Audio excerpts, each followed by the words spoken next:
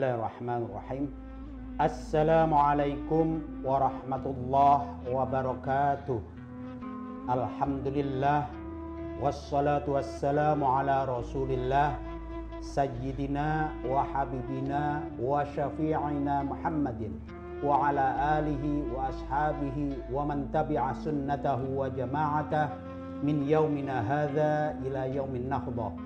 Asyhadu an la ilaha illallah wa asyhadu anna Muhammadar Rasulullah. Allahumma salli wa sallim wa barik ala sayyidina Muhammad wa ala ali sayyidina Muhammad ibni Abdillah al-qaim bihuquqillah ma dhaqat illa wa farrajahullah. Pemirsa Baitul Muslimin Bamusi TV yang dirahmati oleh Allah Subhanahu wa taala. Pada detik-detik terakhir ini, sebentar lagi kita ditinggalkan oleh bulan suci Ramadan. Bulan yang demikian membahagiakan bagi kita semua.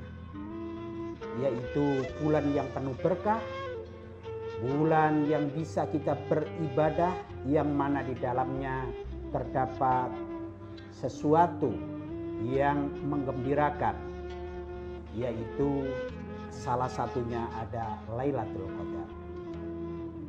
Namun kita sudah melaksanakan sebaik-baik mungkin yaitu selama sebulan penuh yang insya Allah sebentar lagi kita akan meninggalkannya.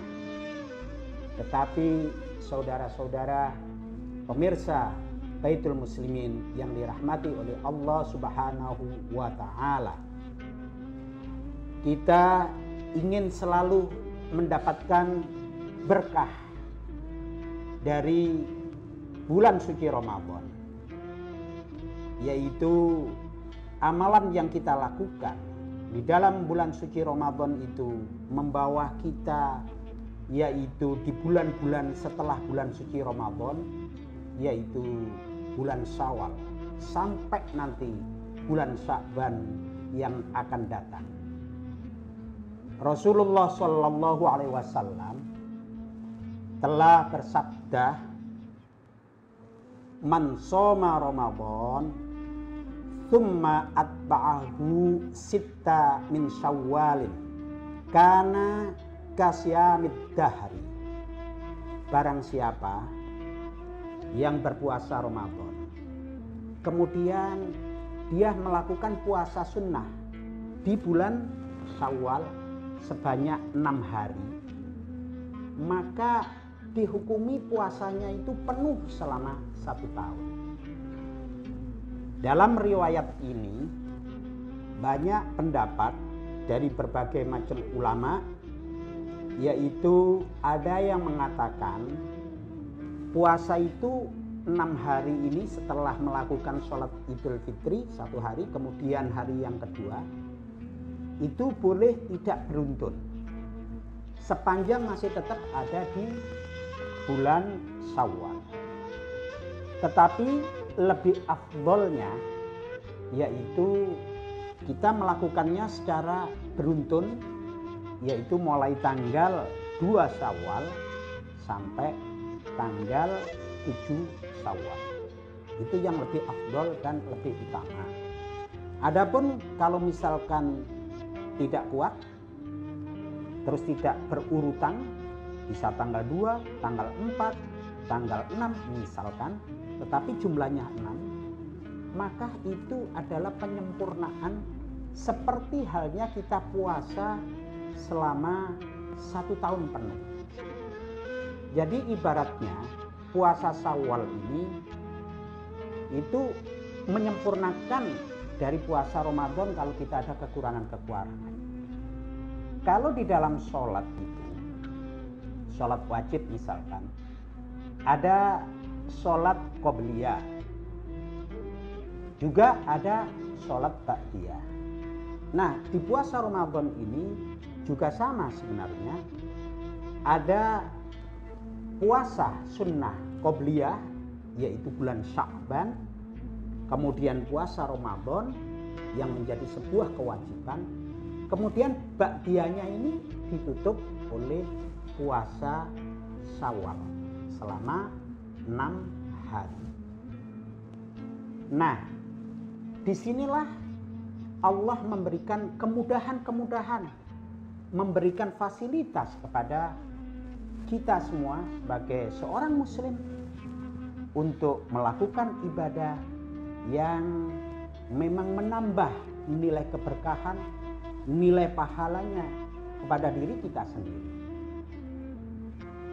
Masyirul muslimin, para penonton Bamusi TV yang dirahmati oleh Allah Subhanahu wa taala. Kebaikan ini yang kita lakukan setelah puasa Ramadan ini itu menampakkan hasil kalau tanda-tanda suatu amalan atau suatu ibadah yang diterima oleh Allah Subhanahu wa taala itu berjenjang. Misalkan kita melakukan puasa Ramadan ini, puasa kita itu diterima oleh Allah Subhanahu wa taala itu tanda-tandanya itu kita sulit meninggalkan kebaikan yang sudah kita lakukan itu yaitu puasa-puasa sunnah. Bahkan tidak hanya berhenti di bulan Sawal saja. Setelah bulan Sawal enam hari selesai masih ada puasa yaitu di hari Senin atau hari Kamis kemudian masuk ke bulan berikutnya di bulan Dzulqa'dah kemudian masuk lagi ke bulan Dzulhijjah sampai terus nanti ada bulan Rajab sampai terus kemudian uh, masuk ke bulan Syakban lagi tahun depan kemudian masuk ke Ramadan lagi. Sehingga nilai kebaikan ini akan tertanam itu menunjukkan betul bahwa amal ibadah kita di bulan suci Ramadan itu telah diterima oleh Allah Subhanahu wa taala. Ketika amal kita ini sudah diterima, tanda-tandanya itu tadi. Kebaikan yang sudah kita lakukan di bulan suci Ramadan ini itu akan terus melekat pada pribadi diri kita sendiri. Yaitu kepingin atau ingin melakukan ibadah-ibadah yang lebih baik. Saya kira seperti itu yang harus kita jaga adalah setiap amal ibadah kita di bulan suci Ramadan, misalkan sholat raweh, kemudian di luar Ramadan nggak ada sholat raweh, kita bisa melakukan sholat yang lainnya, sholat sunnah sunnah yang lainnya. Kemudian kita setiap hari, misalkan selama ini satu bulan kita setiap hari mengamalkan bacaan Al-Quran. Satu hari satu juz sehingga ketika 30 hari itu 30 juz maka ayo mari kita lakukan di luar bulan suci Ramadan ini. Misalkan kalau bisa kita menjaga ritme satu hari satu juz maka setiap bulan kita bisa menghatamkan Al-Quran bahkan kalau nanti sampai Ramadan lagi insya Allah 12 khataman Al-Quran kita sudah ketemu kembali kepada bulan suci Ramadan 1442 Hijriah yang akan datang. Mudah-mudahan umur kita dipanjangkan oleh Allah Subhanahu wa taala sehingga kita masih bisa ketemu kembali yaitu bulan suci Ramadan tahun depan. Hadirin pemirsa yang dirahmati oleh Allah Subhanahu wa taala. Seperti inilah akhir daripada program TV Bamusi di bulan suci Ramadan ini dengan konten syiar Islam, dakwah Islam selama bulan suci Ramadan.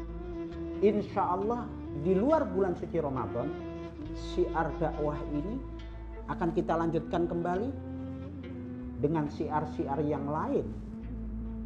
Mohon doa kepada para pemirsa seluruh Indonesia sekiranya Bamusi ini nantinya ke depan bisa memberikan siraman-siraman rohani berupa syiar dakwah yang akan disampaikan oleh ulama-ulama kiai-kiai yang telah kita hadirkan di Bamusi TV. Pemirsa Baitul Muslimin Indonesia. Kami mewakili seluruh komponen pengurus pusat Baitul Muslimin Indonesia juga para kru yang sudah mendukung penuh dari TV Bamusi sekiranya selama ini dalam penyampaian baik itu ceramah baik itu apa saja yang kita sajikan di Bamusi TV ini kami mohon maaf yang sebesar-besarnya tak ada yang sempurna manusia ini kesempurnaan hanya milik Allah Subhanahu wa taala. Kami mohon diri minal aidin wal faidin mohon maaf lahir dan batin. Syukron wa duntum wal barakati wan najah wallahul muwafiq ila aqwamit thariq. Wassalamualaikum warahmatullahi wabarakatuh.